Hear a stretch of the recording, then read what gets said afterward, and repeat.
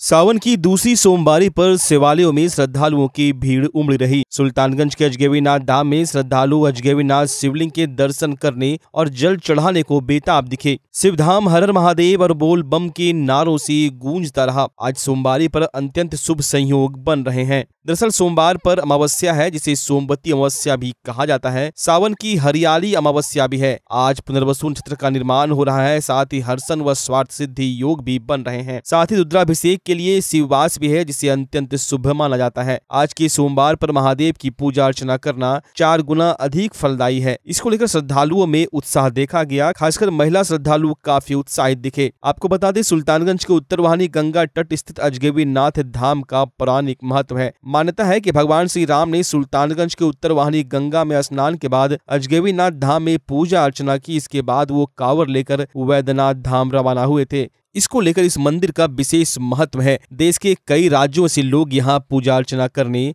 आते हैं।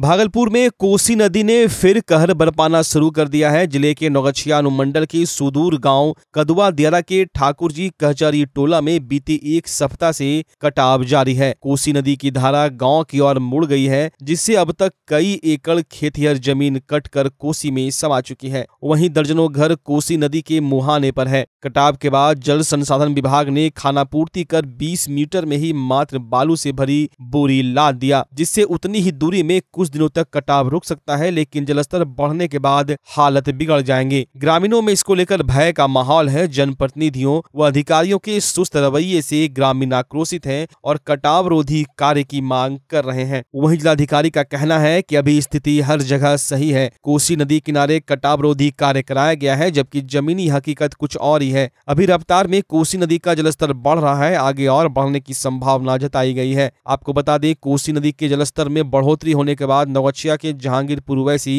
रंगराम मदरौनी खरीक सिंहकुंड लोकमानपुर कहारपुर में कटाव तेज होता है। इस इलाके के हज़ारों लोग पलायन कर चुके हैं। कोसी के जलस्तर में बढ़ोतरी के बाद लोग सहमे हुए हैं। वहीं दूसरी ओर लगातार बारिश के बाद गंगा के जलस्तर में भी बढ़ोतरी हो रही है। गंगा किनारे निचले इलाके में पानी प्रवेश करने लगा है। क्या स्थिति है इस बार बहुत गंभीर है स्थिति। काम हुआ? काम तो ये बाँस उस गिराया है। और बोरी थोड़ा बहुत आगे गिराया है। उससे बचेगा? उससे इससे क्या बचेगा? इससे कुछ नहीं बचेगा। अच्छा इससे पहले भी कभी यहाँ पे कटा हुआ? हाँ इससे पहले अगला साल काम किया था थोड़ा बहुत वो तो बिल्कुल ही लाइव का कम वो कोई कम ही नहीं किया था। बोरी ऊपर ऊपर दे दिया या नीचे बल्ली मारा उसके बाद वो जितना किया और उससे ज़्यादा कटाव हो गया। तैयारी बाढ़ को लेकर कटाव को लेकर अभी देखिए, नदी का जल स्तर बहुत नीचे है। गंगा खतरे के निशान से दो ढाई मीटर नीचे है। कोसी नदी का भी जल स्तर काफ़ी नीचे है। उतार चढ़ाव पानी में हो रहा है, जैसे घट रहा था, फिर आज से बढ़ना शुरू हुआ है। डिस्चार्ज भी कोई बहुत ज़्यादा नहीं है, एक लाख क्यूसेक कोसी में है। तो अलर्टनेस है, जहाँ जो स्थिति जैसी उत्पन्न होगी, उस हिसाब से हम लोग जो है, या जो वाटर रिसोर्स डिपार्टमेंट होता है फ्लड कंट्रोल डिवीज़न वो अपना काम करेगा। हम लोगों की सारी तैयारियाँ जो है वो एसओपी के हिसाब से वो कंप्लीट है, कहीं कोई दिक्कत नहीं है। अब आपके शहर भागलपुर में खुल चुका है पूरे बिहार का सबसे बड़ा और premium salon, look salon.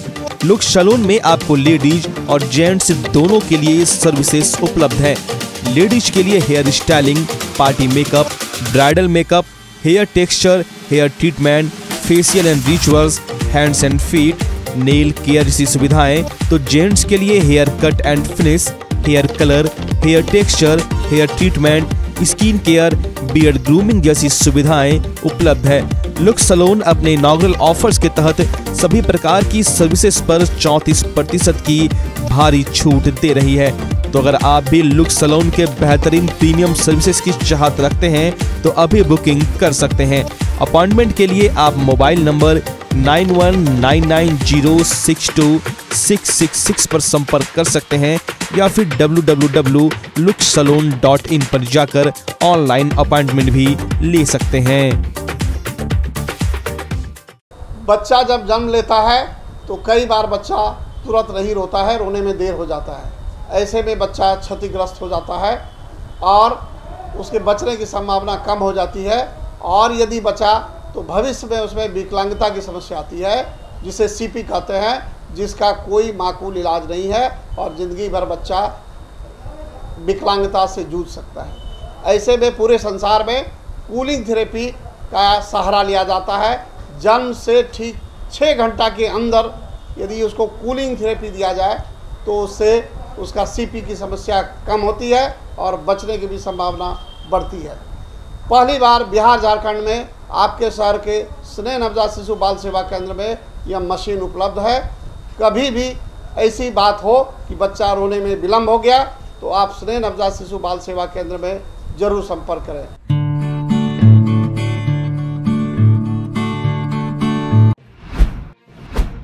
Sultanganj थाना क्षेत्र के तिलकपुर गाँव के समीप बाइक सवार ने एक मजदूर को जोरदार टक्कर मार दी, जिससे वो बुरी तरह से घायल हो गया। आनंद फानन में परिजन उसे इलाज के लिए अस्पताल में भर्ती कराए, जहाँ इलाज के दौरान मायागंज अस्पताल में उसकी मौत हो गई। मृतक की पहचान तिलकपुर गाँव निवासी चालीस वर्षीय दिलीप मंडल के रूप में हुई है। परिजनों ने पोस्टमार्टम कराने के बाद सबको लेकर सुल्तानगंज पहुँचे, जिसके बाद मुआवजे की मांग को लेकर कुछ देर के लिए एनएचएससी को जाम कर दिया। घटना की सूचना पर बीडीओ मनोज कुमार मुर्मू, सीओ अमित राज थानाध्यक्ष प्ररंजन दलबल के साथ मौके पर पहुँचे और परिजनों को समझा बुझाकर जाम को हटवाया। दुर्घटना में मृत्यु होती है लिए परिवहन विभाग की तरफ़ से पाँच लाख का जो अनुदान है, वो दिया जाएगा। और मुख्यमंत्री पारिवारिक लाभ योजना के तहत हज़ार रुपया है, वो दिया जाएगा। और बी में अगर हैं तो तीन हज़ार रुपया का वेतन सिस्टम के तहत दिया जाएगा। और हम लोग जॉब कार्ड दिखवा रहे हैं, जॉब कार्ड अगर मिल गया में अगर हैं तो श्रम विभाग की तरफ़ से एक लाख रुपया का अनुदान, वहाँ से हिंदुस्तानी आवाम मोर्चा के बैनर तले एक दिवसीय धरना प्रदर्शन का आयोजन भागलपुर के समाहरणालय स्थित कहचारी चौक पर किया गया। इस एक दिवसीय धरना प्रदर्शन में पार्टी के कार्यकर्ताओं ने कई मांगों को लेकर प्रदर्शन किया। प्रदर्शनकारियों का कहना है कि भूमिहीनों को आवास के लिए खेती करने के लिए ज़मीन दी जाए। भूमिहीनों व लाचार लोगों को अतिक्रमण के नाम पर परेशान न किया जाए। वृद्ध लोगों को वृद्धा पेंशन दिया जाए। ताड़ी पर प्रतिबंध समाप्त किया जाए। शिक्षकों को राजस्व कर्मी का दर्जा दिया जाए। रसोईया व साफ़ सफ़ाई कर्मी का वेतन बढ़ाया जाए। अनुसूचित जाति, अनुसूचित जनजाति पर विशेष ध्यान दिया जाए। सहित तेरह सूत्री मांगों को लेकर एक दिवसीय प्रदर्शन जारी रहा, जिसमें हिंदुस्तानी आवाम मोर्चा सेकुलर पार्टी के जिला अध्यक्ष अशोक कुमार संजय यादव, लक्ष्मीकांत, सनोज यादव, गुरु रविदास, दिलीप मंडल, विकास कुमार के अलावे दर्जनों हिंदुस्तानी आवाम मोर्चा सेकुलर के अधिकारी व कार्यकर्ता मौजूद थे। धरना का उद्देश्य है, ये जो नीतीश तेजस्वी की जो सरकार है, ये सरकार जो गरीबों के साथ वादा किया था, वो वादा के ऊपर खरा नहीं उतर रहे हैं। हमारे नेता, हमारे राष्ट्रीय संरक्षक जीतन राम मांझी जी का मांग है कि जो भूमिहीन बिहार में है उसे घर बनाने के लिए पाँच डिसमिल ज़मीन दिया जाए और जो जिसको खेती के लिए ज़मीन नहीं है वैसे गरीब आदमी को एक एकड़ ज़मीन जो नियम नियम नियमित है उसको एक एकड़ ज़मीन खेती के लिए दिया जाए। जो व्यक्ति को पर्चा मिल गया है लेकिन उसको दखल नहीं मिला दिया, दिया गया है अतिक्रमण कर लिया गया है ज़मीन पर। उस अतिक्रमण को हटा करके इसके नाम से पर्चा कटा है उस पर्चाधारी को ज़मीन पर दखल दिलाना सरकार का दायित्व है और सरकार इसको दिलावे। जैसे वृद्धा पेंशन जो चार सौ रुपया वृद्धा पेंशन मिलता है उसको एक हज़ार रुपया वृद्धा पेंशन सरकार को करना चाहिए। ये हमारी मुख्य मांग, हैं।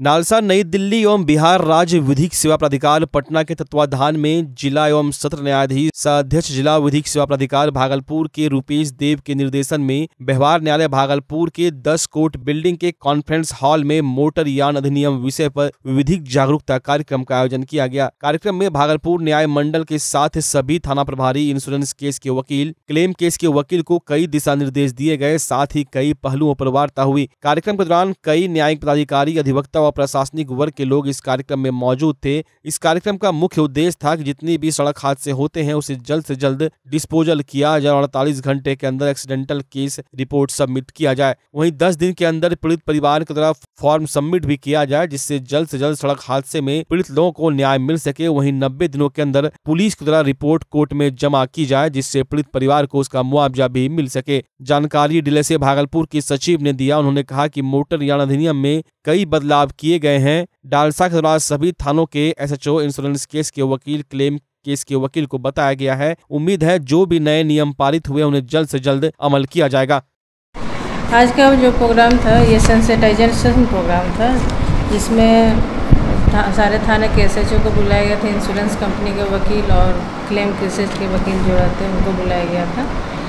इसमें बादशाह के द्वारा एक डायरेक्शन आया था, सुप्रीम कोर्ट का ऑर्डर आया था एक, civil appeal number nine three double two of 2022 उसके आलोक में कहा गया था कि एम एस के जो भी केसेस है, उसमें अमेंडमेंट किया गया है और उसका जो भी बदलाव किया गया है, उसमें था, सारे थाना की महत्वपूर्ण भूमिका है।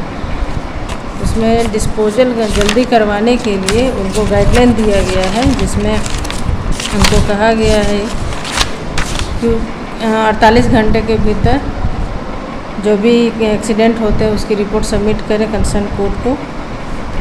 दस दिन के भीतर उनके पीड़ित जो भी होंगे, उनको बताएँगे उनके अधिकार क्या है, वो फॉर्म टू में उनके द्वारा भरा जाएगा।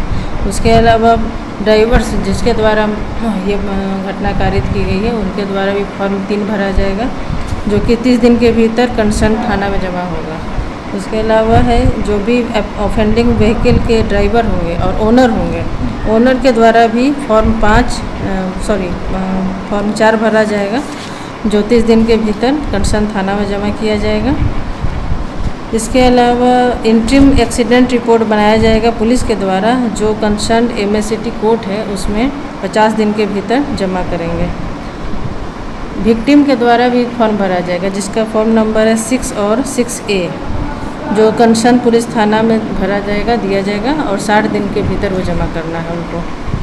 ये सब कार्रवाई करते हुए 90 दिन के भीतर, जैसे कि आप लोग जानते हैं, चार्जशीट सबमिट की जाती है 90 दिन के भीतर, उसी तरह इसमें डिटेल एक्सीडेंट रिपोर्ट सबमिट की जाएगी, जो फॉर्म सेवन में है 90 दिन के भीतर पुलिस वाले को जमा करना है कोर्ट में।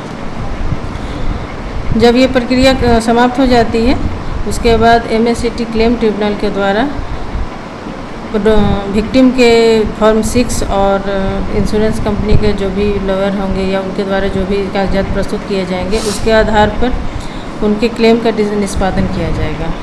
अगर कंपनी जो इंश्योरेंस कंपनी है अपनी लाइबिलिटी स्वीकार करती है कि हाँ मैं लाइबल हूँ इसके लिए और वो एक एक राशि बताएगी जो क्लेमेंट के द्वारा अगर मान ली जाती है कि हाँ इस राशि पर हम समझौता करने के लिए तैयार हैं तो उसमें वो समझौता जिस दिन से फाइलिंग हुई है, वो छः महीना के भीतर वो कंप्लीट हो जाएगा। भागलपुर के अंग जनपद में वैसे तो बहुत सारे मंदिर हैं, जिसमें कई खूबियाँ हैं, लेकिन प्राचीन शनिदेव मंदिर बहुत ही ज़्यादा प्रसिद्ध है। इसको लेकर आज शहर में शोभा यात्रा निकाली गई। इस शोभा यात्रा में पालकी पर शनिदेव को नेम निष्ठा से नगर भ्रमण कराया गया। साथ ही शनिदेव की प्रतिमा को भागलपुर के श्री गौशाला से निकाल कर खलीफाबाग होते हुए, स्टेशन चौक होते हुए देववा धर्मशाला में पहुँचा, जहाँ शनिदेव की भव्य पूजा अर्चना व मंगल पाठ किया गया। शनिदेव की शोभा यात्रा में हज़ारों की संख्या में श्रद्धालु शनिदेव की जय घोष करते दिखे और ढोल नगाड़ों से पूरा शहर गुंजायमान हो उठा। पूजा अर्चना के बाद महाभोग प्रसाद का भी वितरण किया गया।